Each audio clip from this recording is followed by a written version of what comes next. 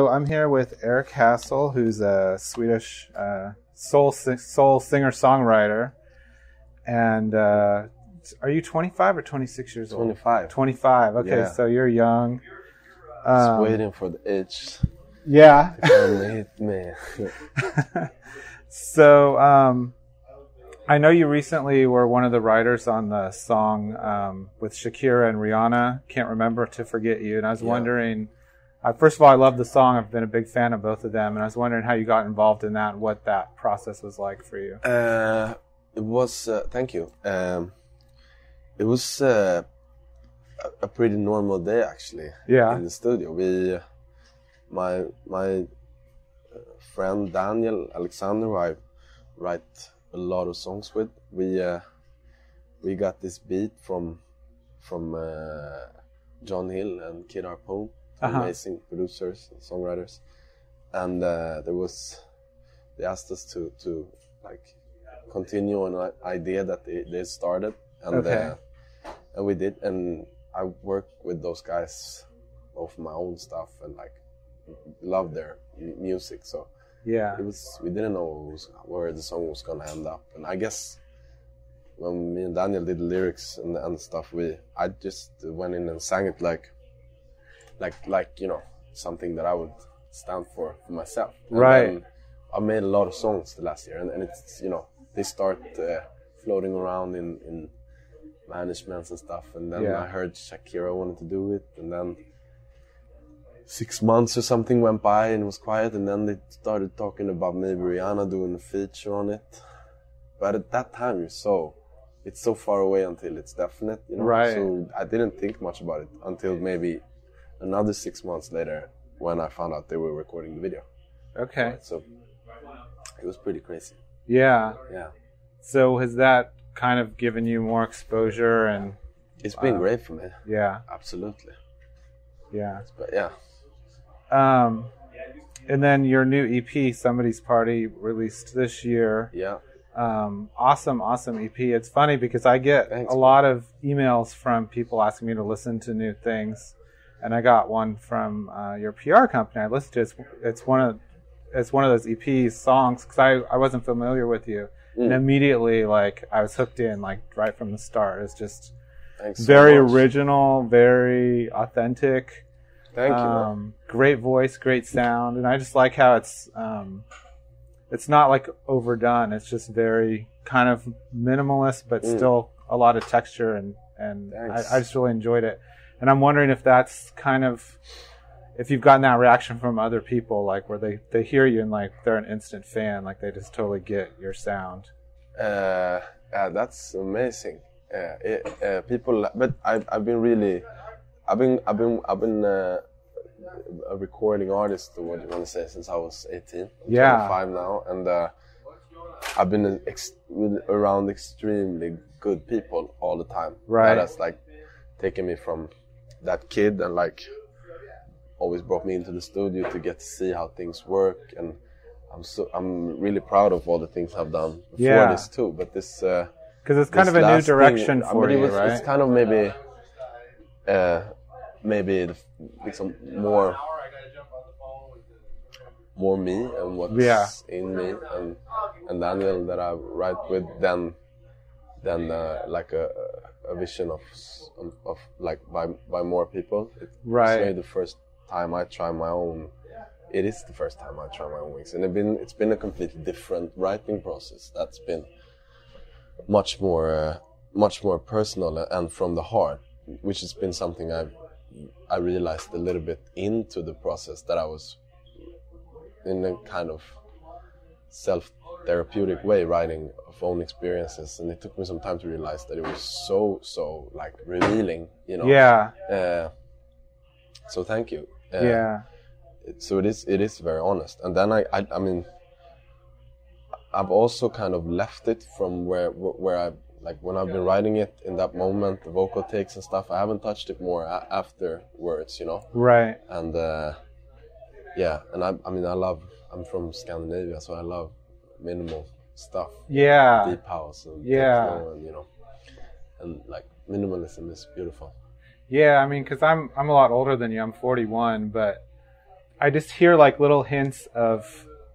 other artists I really like, Mm. but very different ones. Like yeah, but that's like from cool. like Portishead to like Prince, even like Yeah, some yeah. of your songs. Well, like I mean, Portishead. I've never. I, I know who they are, but I've never listened. to yeah, them.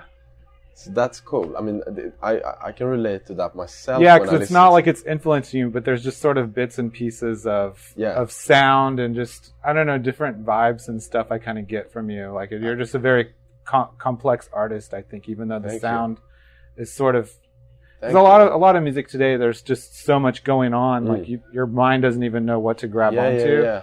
and you're very like vocal driven, which I think yeah.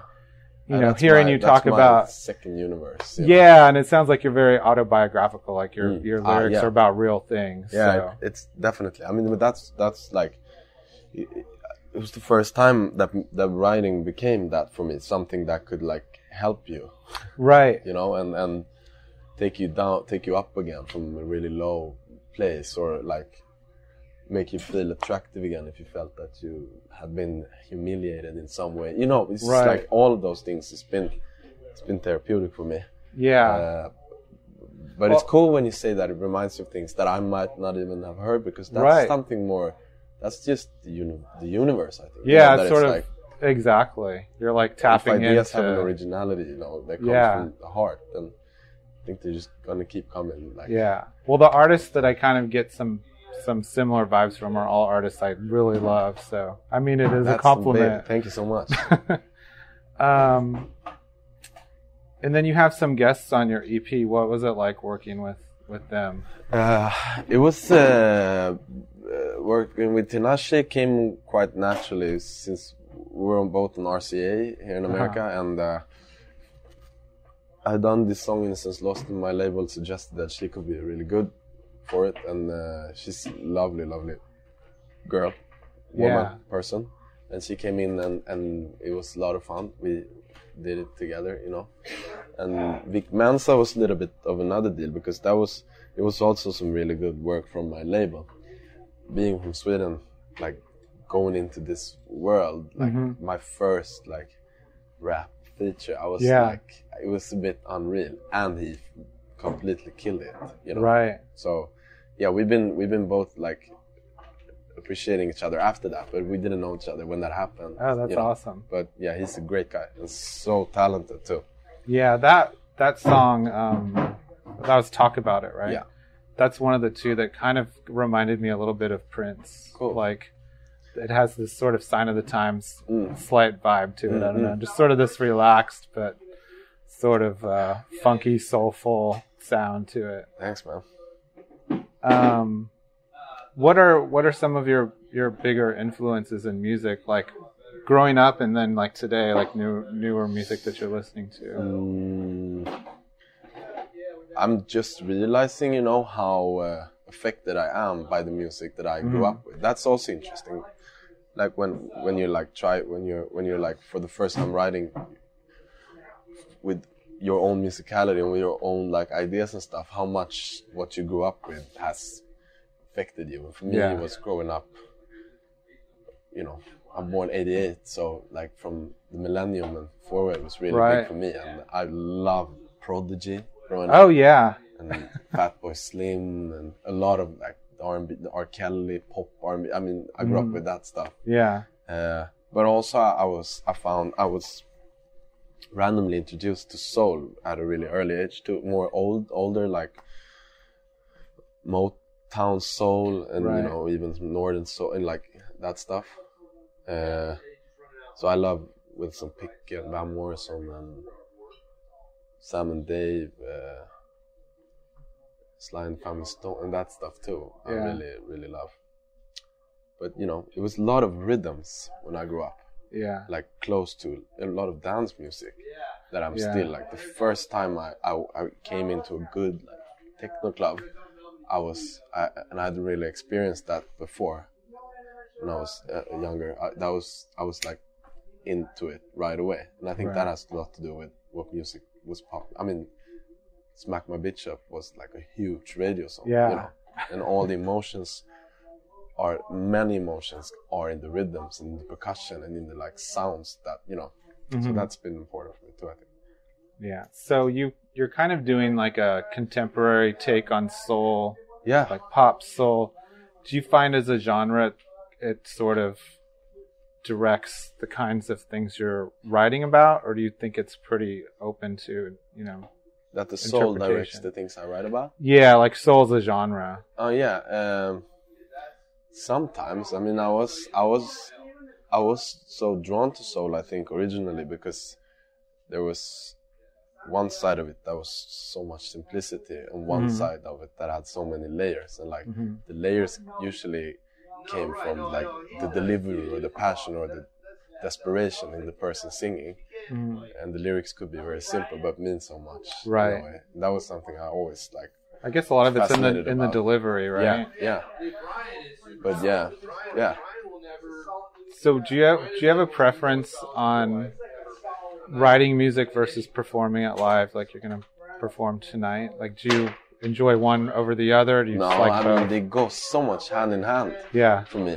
and it's like right now it's very similar experience, yeah, but it's I mean it's it's like the this the studio thing is like you know giving birth to something, yeah, and the live thing is raising that yeah, thing, you know, yeah, and making it like come alive more and more and more. you yeah. know? And do you when you're performing, do you feel connection with the audience?